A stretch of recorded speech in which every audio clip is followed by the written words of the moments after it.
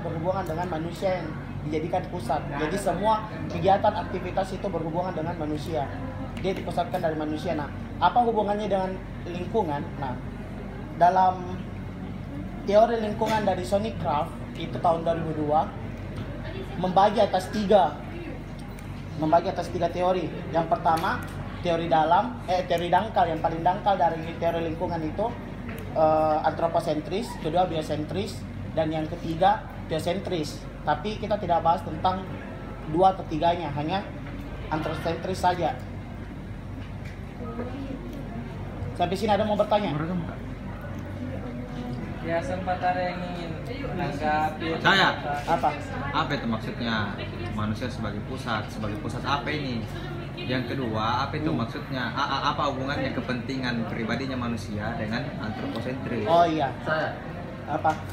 Satu-satu. Saya satu jadi Iya satu.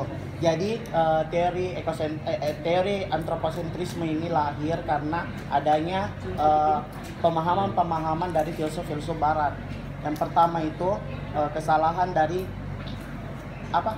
Ekstraksi dari kata Aristoteles yang di mana di dalam bukunya itu The, The Politicans dia membahas tentang tumbuhan diciptakan untuk hewan yang di mana semua pusat dari man- eh, apa namanya dia diciptakan itu yang lebih tinggi dia yang berkuasa.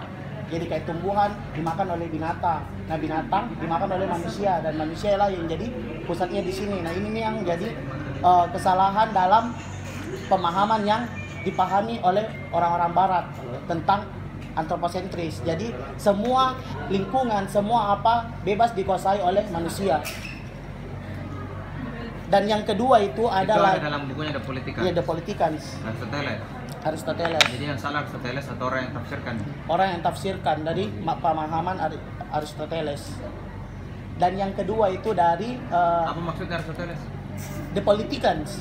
Iya, apa Bukunya, Politicans? bukunya The Politicans itu membahas tentang salah satunya isinya itu tumbuhan diciptakan oleh eh di tumbuhan tumbuhan diciptakan untuk dimakan oleh binatang. Atau istilah lainnya itu dia diciptakan karena ada sesuatu yang lagi mau diciptakan. Jadi itu yang diciptakan yang sempurna yang bisa menguasai. Dari filsuf eh, timur saja juga saya lupa siapa namanya. Wih banyaknya masya Allah. Dari filsuf timur saja. Dari filsuf timur eh dengar dulu ya saudaraku yang budiman jangan sampai bicara sendiri kak. Oke dari filsuf timur saja dia kita itu dia wajibkan untuk menjadi khalifah. Di mana khalifah itu dia yang memimpin dia yang menguasai. Jadi dari tataran kata ini saja kita bisa tahu bahwa eh, kita sebagai manusia itu kita bisa menguasai segala hal. Kita bisa apa istilahnya? Eh, dalam artian kita menguasai ini bumi kita menguasai lingkungan. Nah itu nih biasa adanya tindakan eksploitasi terhadap lingkungan yang dilakukan. Jadi itu kenapa paham-paham yang dianggap menyimpang dari eh, itu lahirlah teori-teori untuk membantah paham tersebut. Yaitu biosentris dan teosentris tapi kita hanya bahas tentang antroposentrisme. Nah yang kedua yaitu ad- adanya kitab-kitab yang salah diartikan. Yang tapi lupa ah, kitab apa itu? Ada di, Injil yang di mana itu? Ya tunggu dulu dik. Oh, lupa kan buka di catatan itu. Ada di HP ku.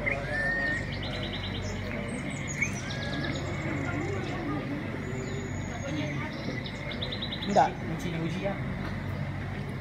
Ada di HP ku itu tentang Sudah Masalah apa maksud maksud ma- pada Aristoteles ini dalam bukunya politikan sih?